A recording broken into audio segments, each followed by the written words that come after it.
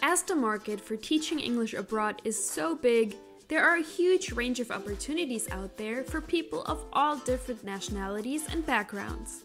In many countries, there are multiple job openings available for every TESOL qualified teacher, which is one reason why non native English speakers generally have no problems in the international job market.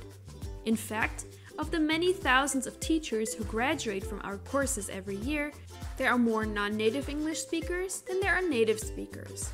No matter where you were born or what your native language, as long as you are fluent in English, there is no reason why you cannot go on to have a long and successful career in teaching English.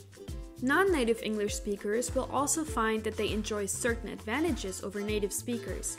In many cases, you will likely have a better understanding of the mechanics of English, as you have had to learn it all from scratch. Many students of English also find it easier to learn from a non native speaker, as they can often have greater empathy with the learners in their classroom due to their own previous experiences.